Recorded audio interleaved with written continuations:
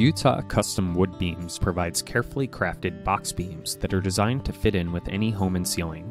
Handcrafted and indistinguishable from traditional wood beams, our Utah custom beams are lightweight and perfect for any remodel.